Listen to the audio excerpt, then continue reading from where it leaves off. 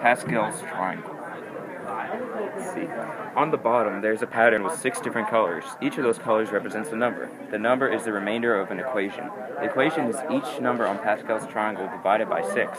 The colors are green, remainder 1 6, purple, remainder 1 3rd, pink, remainder 1 half, blue, remainder 1 3rd, yellow, remainder 5 6, and orange, no remainder. Once each of the numbers is filled in with the appropriate color, it creates a pattern. The pattern is symmetrical on both sides. In the middle, there is an upside down triangle that is completely orange, which means they are all divisible by 6.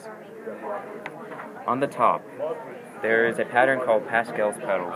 It is called that because it looks like a flower, but there's more to it. It may look like a flower, but it's also a math equation. It works with any cell surrounded by six other cells. In the diagram on the right, the colors of the petals on the flowers are alternating.